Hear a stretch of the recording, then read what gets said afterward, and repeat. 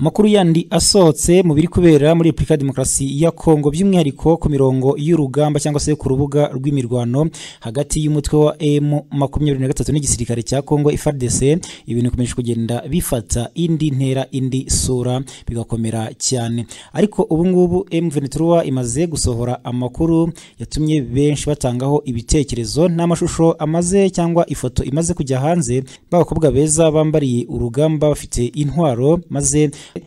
hariho n'amagambo aherekeje ifoto aho bagira bati n'abakobwa n'abakobwa bato bacu rwose bitabiriye kujya mu mutwe wa M23 ati umukobwa muto akajya muri M23 La Lione de Salambwe bibutsa ko Lelio de Salambwe ari umutwe udasanzwe uri kurwana muri iki gihe muri M23 uri gutoza uburyo bw'imirwanire bwihariye kubera bukoresha amayeri kurusha ibindi byose kurusha intwaro cyangwa se izindi mbaraga ahubwo bagakoresha tekinike. Iyi foto rero yatumye benshi batangaho ibitekerezo bavuga bati ni byiza cyane abakobwa nibadushyigikire bashyigikire umutwe wa M23 ni ku ruhande rw'abaturage batuye mu duce dutandukanye turi hafi aho imirwano iri kubera bashyigikiye umutwe wa M23 muri iyi minsi. Dore ko hari abamaze gutwika imodoka nk'uko abaturage batwitse imodoka bavuga yuko badashaka na gato ubabaza umutwe wa M23 cyangwa se ushaka eh, kuba yahungabanya umutwe wa M23 kuko ngo uharanira uburenganzira bw'abaturage.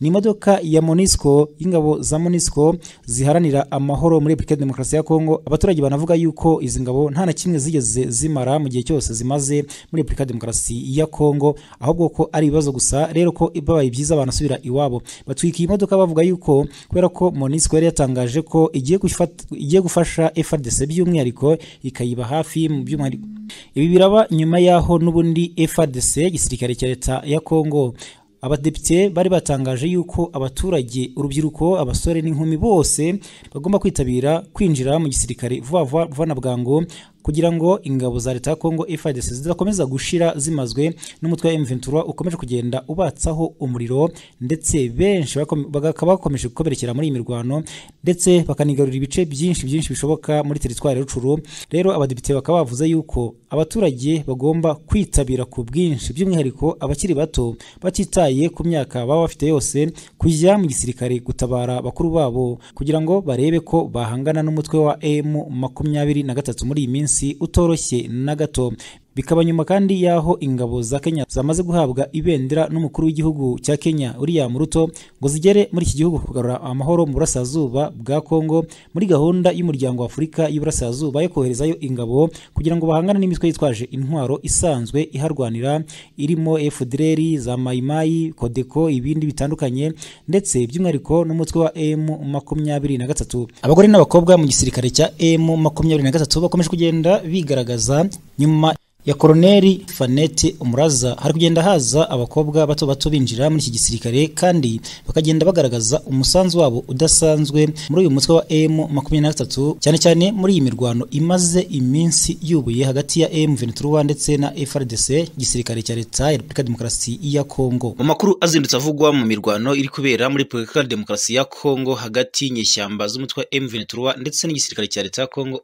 FARDC nuko ubu ngubu perezida William Ruto uyobora Kenya. Yamaze guha umukoro cyangwa se ikizamini gikomeye cyane ingabo yohereje mu gihugu cya Repubulika Demokarasi ya Kongo guhangana n'imitwe yitwaje intwaro irwanira mu burasirazuba bw'iki gihugu by'umwihariko umutwe wa M makumyabiri na gatatu. Mu minsi ishize hagiye hacicikana amakuru avuga yuko ingabo za Kenya ziri mu gihugu cya Repubulika Demokarasi ya Kongo zatinye urugamba nyuma yo kubona yuko ibintu bikomeye cyane hagati ya M makumyabiri na gatatu ndetse na FARDC bagakuramo akabo karenge bagasubira mu gihugu cya Kenya. Icyo gihe amakuru yaje kugenda anyemozwa na leta ya Kinshasa bavuga yuko nta ngabo za Kenya basanzwe bafite mu gihugu cyabo. Ubu rero amakuru yamaze kwemezwa ko William Ruto yahaye ibendera ingabo za Kenya zigiye muri Repubulika Demokarasi ya Kongo ni perezida William Ruto. Iri bendera akaba yarihaye umukuru wa bato y'ingabo za Kenya zigiye mu mutwe w'ingabo z'akarere kurwanya inyeshyamba zitwaje intwaro mu burasirazuba bwa Repubulika ya Demokarasi ya Kongo izi ngabo zigiye mu gihe ibintu bimeze nabi cyane cyane mu burasirazuba bw'iki gihugu cya Repubulika ya Demokarasi ya Kongo kuko basanze igisirikare cya Kongo cyarasenzekajwe n'umutwe wa M23 mu buryo bukomeye cyane. Ndetse intwaro nyinshi zamaze kujya mu maboko y'umutwe wa M23 uduce twinshi twamaze kwigarurirwa n'umutwe wa M23 kandi ahangaha umutwe wa M23 wo watangaje ko abagize umuryango wa Afurika y'Iburasirazuba batakohereza ingabo mu burasirazuba bwa Kongo bagamije kugira ngo barwanye umutwe wa M makumyabiri na gatatu kuko bo bavuga yuko atari inyeshyamba nk'abandi ahubwo bo bafite icyo baharanira kandi abayoboye Afurika y'Iburasirazuba babizi neza. Bagendeye ku masezerano basinyanye n'igisirikare cya leta ya Kongo FARDC ndetse na leta ya Kinshasa ubwayo mu myaka igiye itandukanye no mu bihugu bigiye bitandukanye. Izi ngabo za Kenya zigera ku gihumbi nk'uko umuvugizi w'ingabo yabivuze biteganyijwe ko zihita zihaguruka zerekeza mu burasirazuba bwa Kongo aho hasanzwe hariyo ingabo z'u Burundi mu ntara ya Kivu y'Amajyepfo n'iza Uganda mu ntara ya Ituri. Zigiyeyo ku bwumvikane bya leta z'ibyo bihugu. Perezida William Ruto yahise anasengera izi ngabo z'iki gihugu arapfukama azisabira umugisha kugira ngo zizabeyo amahoro. Ni igikorwa cyabaye muri ijoro ryakeye ubwo yari mu gace ka Embakasi Kalison mu muhango wo gushyikiriza izi ngabo uzuwo mutwe udasanzwe ibendera ry'igihugu mbere y'uko zifata urugendo. Perezida William Ruto yasabye Imana kuzarinda abasirikare mu gihe bazaba bari mu kazi kabajyanye muri Repubulika ya Demokarasi ya Kongo mu kazi katoroshye na gato mu gihe ibintu ubu ngubu bimeze nabi cyane aho M23 iri kwatsa umuriro ku gisirikare cya M makumyabiri na gatatu. Yabibukije ko bagiye kurinda ubuzima bw'abaturage anaboneraho ko bahagarariye igihugu cya Kenya kandi bagomba gufata neza idarapo. Uyu mukuru w'igihugu yamenyesheje izi ngabo ko yakurikiranye imyitozo zakoze zitegura kujya muri Repubulika ya Demokarasi ya Kongo ko afite icyizere ko zizakora akazi kazo neza cyane azizeza ko we n'abanyakenya bazakomeza kuzisengera. Ati turabashyigikiye kandi turakomeza tubasengere. Ni perezida William Ruto yatangaje ko mbere y'amasaha mirongo ine n'umunani ngo ashyikirize izi ngabo ibendera ry'igihugu yabanje kuvugana n'umunyamabanga mukuru w'umuryango w'abibumbye ndetse n'abayobozi b'ibihugu byo mu karere ka Afurika y'Iburasirazuba EAC bamwemerera ko yazohereza izi ngabo zizayoborwa na Colonel Daniel Lotishi birakomeye cyane bikomeranye ingabo za leta ya Kongo FARDC ndetse na leta ya Kinshasa muri rusange. Bari kugenda bashakisha uburyo bwose bushoboka ngo barebe ko imirwano bahanganyemo n'inyeshyamba za M23 hagira igihinduka bakaba bazitsinda cyangwa se bazirukana mu bice bari kugenda bahanganiramo. Inyeshyamba zimaze kwigarurira uduce turenga makumyabiri na dutatu muri teritwari ya Rucuru ariko tukaba dukomeje imigambi n'imihigo yatwo yo kuba bakototera ndetse bakagira bakora nubwo bafata umujyi wa Goma nubwo bo batabyemeza neza ko ari zo ntego zabo. Ubu rero mu gihe n'ubundi abadepite bamaze gutangaza yuko bagiye kwimukira mu gice cya Bukavu kugira ngo babe hafi bacungire hafi umujyi wa Goma ube utajya mu maboko ya M23 kubera ko bafite ubwoba n'igishyika cyo kuba bafite impungenge z'uko M23 isaha n'isaha yaba yigaruriye umujyi wa Goma. Bakavuga bati rero reka tuhaze nk'abantu bakomeye ndetse turebe ko ingabo zacu za FARDC zagira eh, igitutu M23 zikaba zagira icyo zikora zikirwanaho mu kugira ngo zirukane umutwe wa M23 wa ntudukoze isoni ngo ufate umujyi e, eh, wa, wa Goma. Nk'uko wafashe umujyi wa Bunagana ukawumarana amezi arenga ne ubu ngubu hafi atanu. Bikaba byarananiye igisirikare cya leta ya Kongo kugarura uyu mujyi mu maboko yacyo. Ubu rero abadepite nanone bakoze akandi gashya cyangwa se bafashe undi mwanzuro. Baravuga ko bari gusaba urubyiruko barwinginga cyangwa se baruhatira kwinjira mu gisirikare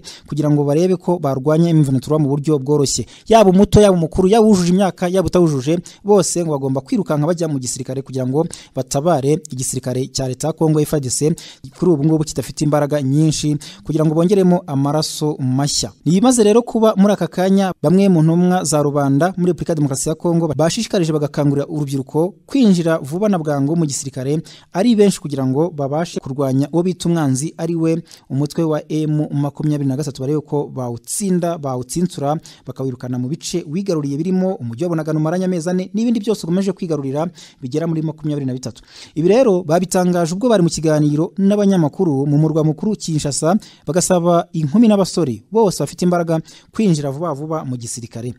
Aba badepite bahagarariye imitwe ya politike bavuga ko igihugu kiri mu kaga bityo rero ko bakeneye kwinjiza abasirikare benshi kugira ngo bahangane n'ibyo bibazo byose biri kwigaragaza mu gihugu cyabo bitewe n'umutwe wa M23 ukomeje kugenda ubakoza isoni. Abadepite kandi bagaragaje imvamutima ku byerekeranye n'ibyemezo byafashwe byo kwirukana ambasaderi w'u Rwanda muri Repubulika ya Demokarasi ya Kongo kubera ko bashinja u Rwanda kuba inyuma y'ibitero by'inyeshyamba za M23 zihanganye na FARDC mu burasirazuba bwa Kongo. Umuyobozi w'aba badepite Simo Pierre Muramba yasabye ko imipaka yose ihuza u Rwanda na Repubulika Demokarasi ya Kongo hamwe n'ihuza igihugu cya Uganda na Repubulika Demokarasi ya Kongo yahita ifungwa vuba vuba mu maguru mashya.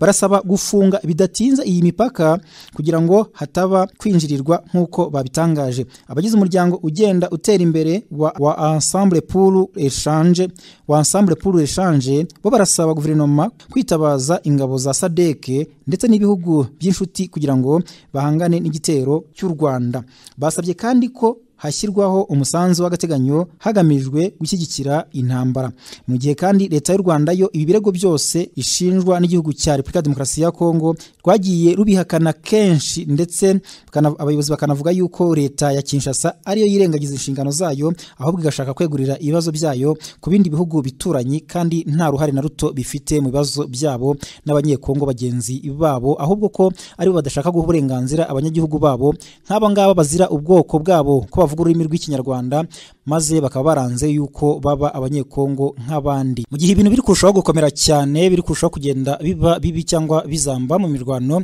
ihanganishije FRDC igisirikare cya leta ya Kongo ndetse n'umutwe wa M makumyabiri na gatatu ibintu bikaba bibi. Ubu ngubu leta ya Kinshasa nta kindi iri gukora nuko iri kwihutisha ibikorwa byo kuzana indege iherutse kugura n'igihugu cy'Uburusiya n'iziherutse kwemererwa n'iki gihugu nk'inkunga kugira ngo zigezwe mu gihugu cya Repubulika Demokarasi ya Kongo vuba na bwangu kugira ngo zitangire zifashishwe mu kureba ko bahangana n'uyu mutwe bakawutsintura mu birindiro wamaze gufata bugwate. Ubu rero ni ibintu amakuru amaze gusohoka aka kanya avuga yuko indege umunani zigiye kuza vuba vuba kugira ngo zibatabare cyangwa se bazifashishe muri iyi mirwano bahanganyemo n'umutwe wa M makumyabiri na gatatu. Ko baruna ko biramutse bitinze ubu ngubu M23 iri kugenda ifata igice kinini cy'igihugu by'umwihariko agace k'uburasirazuba bwa Repubulika Demokarasi ya Kongo kakaba ari kugenda kajya mu maboko y'uyu mutwe wa M makumyabiri na gatatu. Ni ibintu rero bimaze gutangazwa muri aka kanya ko ubu ngubu leta ya Kinshasa yaba iri gutegura kugira ngo izi ndege zinjire vuba vuba mu gihugu cya Repubulika Demokarasi ya Kongo imirwano hagati aho ngaho yo irakomeje cyane irakomeye kandi ni ibintu bikomeje kugenda biba bibi kuko ubu ngubu imirwano biri kubera mu gice hafi ku kigo cya gisirikare cya Rumangabo hamaze gupfiramo abantu benshi. Ubu amasasu niyo ari kumvikana muri aya masaha tubabwira iyi nkuru. Mu kirere cy'aho ngaho urusaku rw'amasasu n'ibitwaro biremereye cyane ni byo biri kumvikana. Ndetse haragaragara n'amashusho y'abantu bacicikana bava ahangaha hari kubera imirwano bahunga abandi nabo bakomerekera muri iyi mirwano. M23 nk'ibisanzwe muri iyi minsi nk'uko iri kugenda ibigenza iri kwifashisha utudege tutagira abapilote mu kurasa amasasu cyangwa kumisha amasasu y'urufaya ku, gisirikare cya Kongo FRDC nubwo FRDC na yo kugenda igerageza kwitabara yirwanaho mu basirikare bake bake bagiye basigaye mu mirwano mu gihe abandi bamaze kugenda bahunga urugamba. Ubu rero aya makuru akavuga ko indege umunani zaba zigiye kugera muri Repubulika Demokarasi ya Kongo. Ni indege ubundi zo mu bwoko bwa Mirage witi Kinshasa iherutse kugura zizaba ziseseka igoma mu cyumweru gitaha nk'uko amakuru aturuka kuri umwe mu basirikare bakomeye muri FARDC ubwe. Yahaye radio ya Kongo ikorera mu mujyi wa Kinshasa akaba ariyo dukesha n'iyi nkuru ivuga ko ingabo za FARDC zigiye guhita zikoresha imbaraga zo mu kirere mu gutwika no gusenya ibirindiro by'umutwe wa M23 ngo kubera ko ibundi buryo bwose bushoboka M23 yagiye ibutahura mu minsi ishize banarwanishije kajugujugu nabwo bisa naho bigoranye kuko zagiye zimanurwa n'igisirikare cy'umutwe wa M23 cyane cyane mu gihe barwaniraga mu bice bya teritwari ya Nyiragongo aho ingabo za leta ya Kongo FARDC icyo gihe zahungiye mu mujyi wa Goma. Ariko ku bushake igisirikare cy'umutwe wa M23 kiza guhagarika imirwano ndetse icyo gihe kinarekura ikigo cya gisirikare cya Rumangabo mu mahoro kugira ngo hubahirizwe inzira y'ibiganiro ariko barayitegereza baraheba ndetse ndetse biza no kurangira n'ubundi leta ya Kinshasa ivuze yuko itazigera igirana ibiganiro n'umutwe w'iterabwoba nk'uko iwita uyu mutwe wa M23 uyu musirikare rero ukomeye igisirikare cya FRDC akababwiye abanyamakuru k'abaganga mu bya gisirikare ari wo muti baherutse guha ingabo za leta zisumbirijwe n'inyeshyamba za M23 aho babaremesheje nyamara babwira bati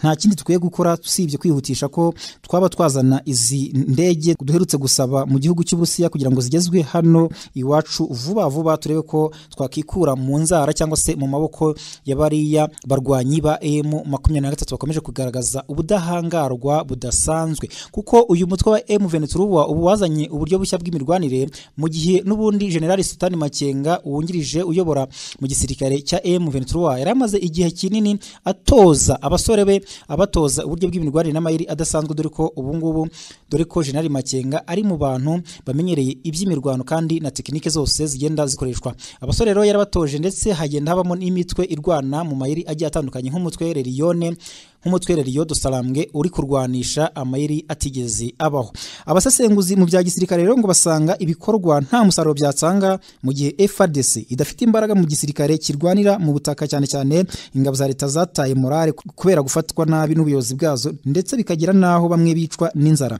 Ndetse iki gihe cyo mu gihe mbere bari bifatanyije n'umutwe wa FDLR na Mayimanyatura iyi mitwe yaje kwikura cyangwa yaje kwiyomora ku gisirikare cya Kongo FARDC kubera ko ngo batubarije amasezerano bari kubicisha inzara batari kubaha amafaranga bari babimereye ndetse bakanakomerekera mu mirwano bakubiswe na M23 ariko ntibabahabwe ubuvuzi nk'uko byari biri mu masezerano bakaza kugenda babivamo. Ubu rero aba basesenguzi bakavuga yuko leta ya Kongo leta ya Kongo icyo ikeneye ari tekinike zo kurwanira hasi kuko uburyo bw'imirwano bwose umutwe wa M23 urabuzi kuko mbere bifashishije nyine izi ndege za kajugujugu za gisirikare ariko ibi by'ubusa n'ubundi na zo zihanurwa n'uyu mutwe wa M23 ni ibintu rero bikomeje kugenda bihangwa amaso ngo barebe icyo wenda izi ndege zizahindura mu mirwanire y'igisirikare cya Kongo FARDC mu guhangamura umutwe wa M23 wigize akaraha kajyahe